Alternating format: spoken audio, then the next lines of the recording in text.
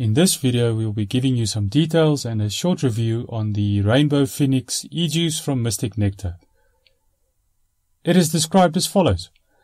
Through the hazelnut fog, the Rainbow Phoenix rises, leaving behind a world of nectarine, strawberries and jackfruit. The e-liquid is mixed at a 60-40 ratio and available in 30 milliliter bottles only.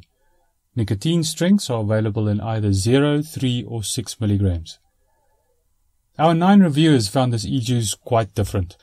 Jackfruit supposedly resembles the taste combination of pear, apple and peach, which they felt was added to complement all the other flavors in this e-juice.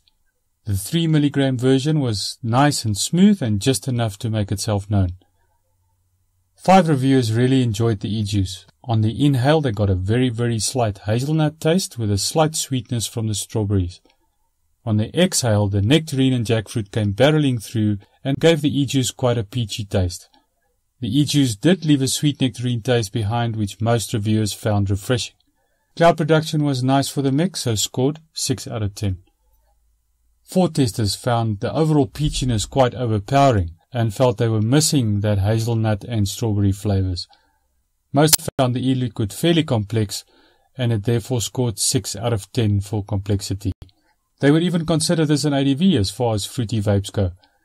In conclusion, then, our group gave it an overall subjective score of 6.5 out of 10. You definitely would want to add this to your stash if you like fruity vapes.